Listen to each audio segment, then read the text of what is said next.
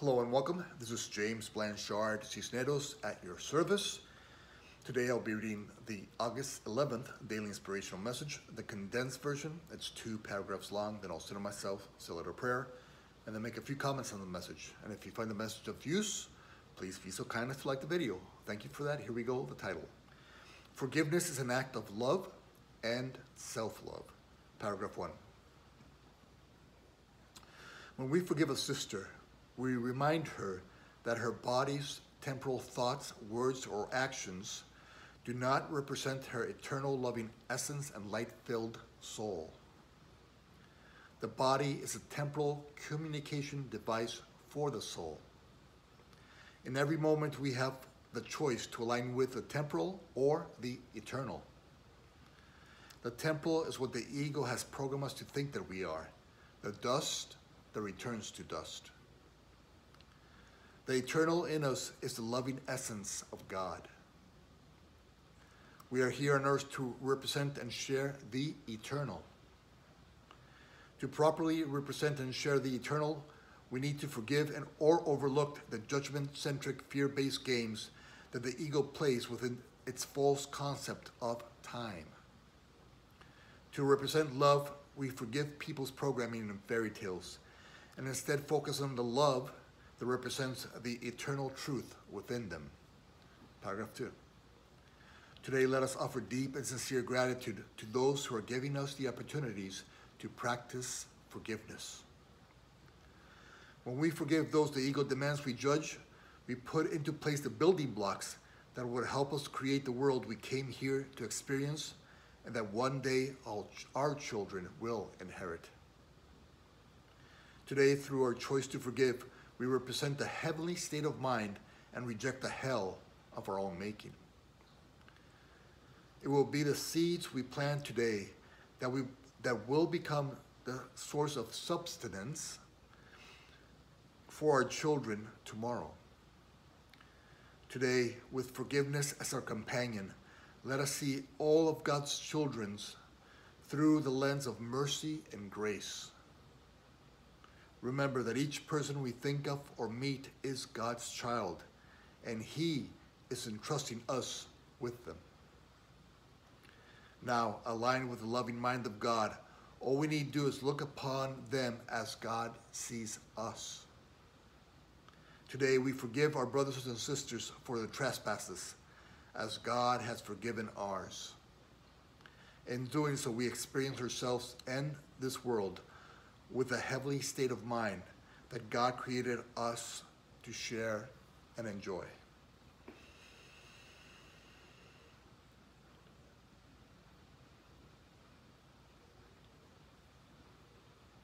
All right. Forgiveness is an act of love and self-love. Okay, today I'm going to make five points that I trust will assist both of us in the implementation of today's daily inspiration. Point number one. Okay, let's say we're in a situation and somebody triggers us. We have two choices. We can judge them or we can forgive them. Today, we're trying to practice forgiveness. And so we simply remember, okay, every time I've judged my brother, I always end up in a dark place within me. And I feel like judge, uh, those burdens of judgment, the heavy burdens of judgments on me. And so whenever I judge them, because we're all one, I poison myself. So let me not try that today. Let me instead remember, being all one, when I forgive my brother or sister, I heal myself because I free myself from the burden of judgment. And so in point number one, we can either judge or forgive. When we judge, we poison ourselves. When we forgive, we heal ourselves. So that's point number one. Point number two.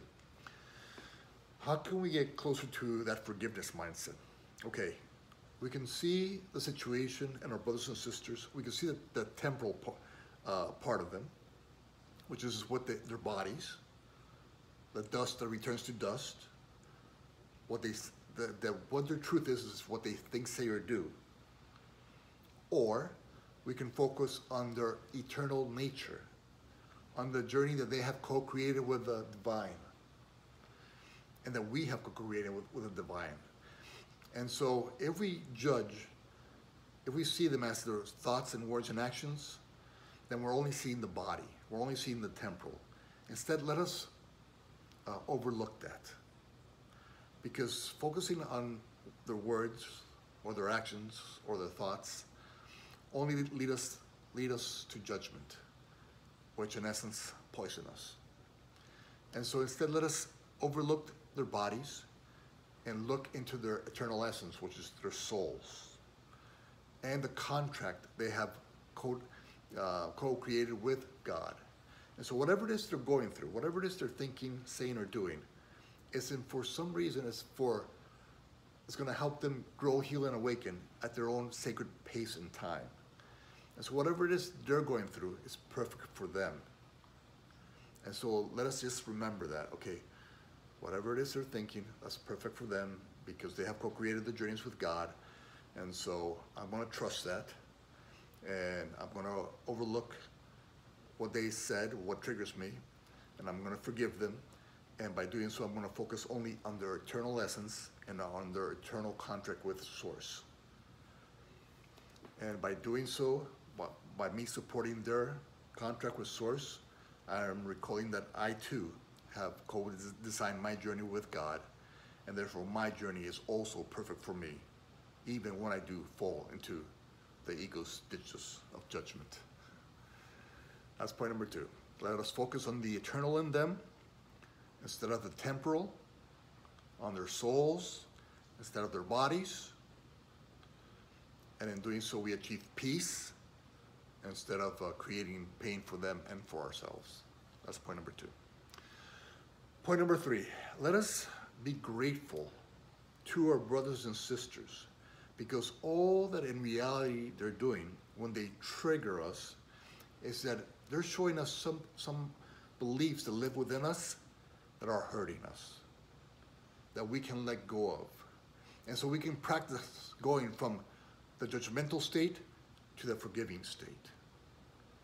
From imprisoning our, ourselves within our own minds to freeing ourselves.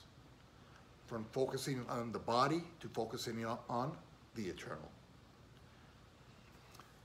Um, from focusing on conflict and chaos and confusion to deciding, you know what, pardon me, I can have peace instead of this. So in point number three, we thank our brothers and sisters for helping us practice leaving the ego's delusional mindset and coming back into alignment with the mind of God. And that leads us to point number four. Let us use these opportunities when the ego is trying to trigger judgment in us to instead say, okay, okay, I've traveled judgment's path a hundred times before, a thousand times before, and never delivers me to, never delivers to me the state of peace. And so let me just practice using this exact same moment to practice aligning with the mind of God, with love, and love's expressions, such as forgiveness and compassion and understanding and mercy and grace. And so we're going to use this opportunity in point number four not to dive deeper into the darkness of judgment, instead to trigger enough the, the decision to say, okay, this is a perfect opportunity for me to practice aligning my mind with the mind of God, with love, and love's expressions such as forgiveness and understanding, and compassion and mercy and grace. So that's point number four. And point number five, let us make it our goal before every interaction to make forgiveness our constant companion. And so our goal is to interact with our brothers or sisters, but go into the interaction with forgiveness as our companion. And so no matter what they think, say, or do, if it starts to trigger us, we say, no, no, no, wait a second. My goal today is to be aligned with forgiveness, which is an expression of love. And so if they start to trigger me, I just simply forgive them by focusing on, on their eternal essence instead of what they think, say, or do, by seeing their souls instead of their bodies. And so in point number five, we simply go into every interaction with our goal already set. saying forgiveness is my goal because forgiveness is an act of love, not only for my brother, but also an act of self love. Because when I forgive, I free them to experience their reality as they need to or as they co created with God to experience. And in doing so, I free myself from the burden of judgment and I heal myself by bringing peace to my mind and joy to my heart. And so that's point number five. Go into the interaction with your goal already set. In this case, we bring forgiveness along as a companion. All right. Thank you very much for your time. I love you very much. If you can be so kind as to like this message, it would be useful to the YouTube algorithm. And God willing, we'll see each other tomorrow. Peace.